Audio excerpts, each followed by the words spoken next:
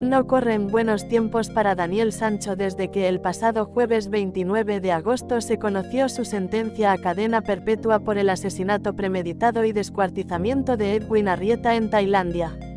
Nada más hacerse pública la decisión del juez, el hijo de Rodolfo Sancho fue trasladado de la apacible prisión de Kaoache Samui, donde llevaba privado de libertad desde hacía un año, a la de máxima seguridad de Surat Thani, en la capital de la provincia del mismo nombre. Allí, Sancho trata de acostumbrarse a su nueva vida donde, entre otros, recibe la visita de su madre, Silvia Bronchalo, más extendida en el tiempo por las nuevas políticas internas que caracterizan la cárcel. Mientras se suceden las horas, los días y las semanas, el español recibe los regalos de su abuela Noelia, con quien vivía antes de cometer el brutal crimen.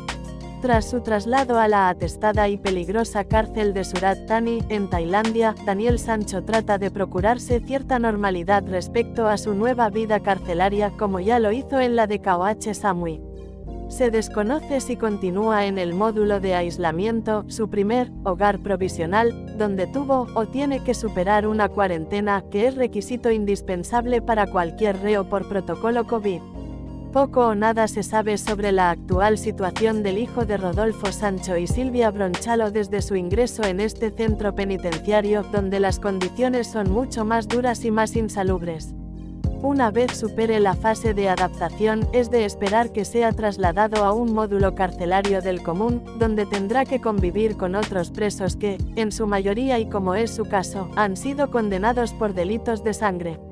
A pesar de los esfuerzos de la defensa del español, liderada desde España por Marcos García Montes, Daniel Sancho tendrá que pasar, como mínimo, ocho años en prisión en suelo tailandés antes de que se pueda plantear iniciar cualquier trámite para, o bien cumplir su condena en España, o bien solicitar el perdón del rey del país asiático. Sea como fuere, Daniel Sancho no está solo durante esta difícil etapa de su vida. Su familia, aunque sea a la distancia, le acompaña en todo lo que pueda, asegurándose de que sus días se sucedan lo más agradable posible dadas las circunstancias. Una de ellas, su incondicional abuela por parte paterna, Noelia Aguirre, madre, a su vez, de Rodolfo Sancho como apuntan desde la razón. La mujer y su nieto estaban muy unidos antes de que tuvieran lugar los fatídicos hechos que han llevado al cocinero a jugarse su futuro de una forma que nadie de su entorno hubiera imaginado ni en sus peores pesadillas.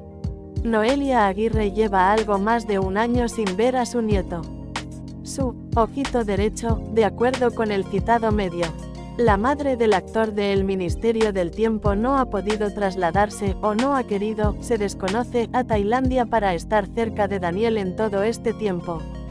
Fue una de las últimas en enterarse de la situación del joven de 30 años por el impacto que la noticia podía suponer para ella como es lógico.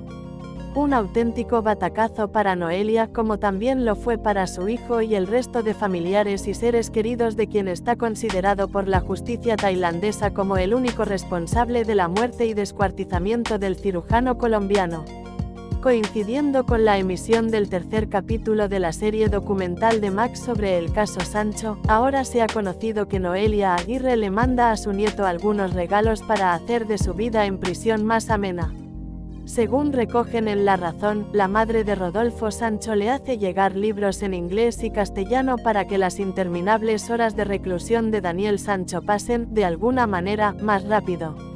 Es su personal forma de trasladarle al español todo su cariño en estos momentos de aislamiento que se extenderán por un tiempo indefinido, a pesar de los intentos de los abogados del preso por revertir su situación. Y es que, como informó la defensa de Daniel Sancho una vez tuvo conocimiento de su sentencia condenatoria, la intención ahora es presentar un recurso para, como mínimo, tratar que la justicia de Tailandia se plantee el tema de la premeditación en torno al asesinato de Edwin Arrieta. Ese fue el principal objetivo durante el mediático juicio que se celebró entre los días 9 de abril y 2 de mayo. Según la última versión del hijo de Rodolfo Sancho, nunca se planteó con antelación acabar con la vida de su amante, sino que su muerte fue producto de una fuerte discusión que mantuvieron ambos.